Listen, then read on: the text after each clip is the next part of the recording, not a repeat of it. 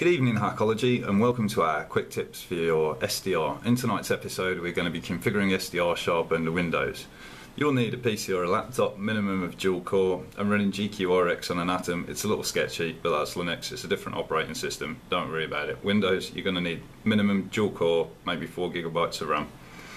Okay, do not plug in the RTL dongle. If you've bought an RTL dongle, do not plug it in, do not install any other software that comes with the dongle. If you have, uninstall the drivers, uninstall the software and unplug the dongle. You can do that in Device Manager by right clicking and choosing uninstall.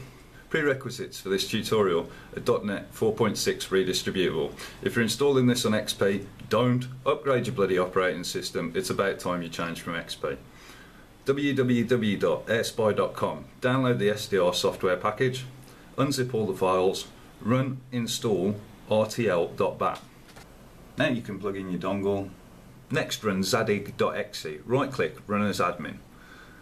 Click options Choose list all devices. In the drop down field, find the item bulk interface 0. Make sure WinUSB is selected in the right drop down, click replace driver. Any warning messages you get, just click install driver. Open SDR Sharp, select the RTL USB dongle, click start capture, tune to a known frequency like a local radio station.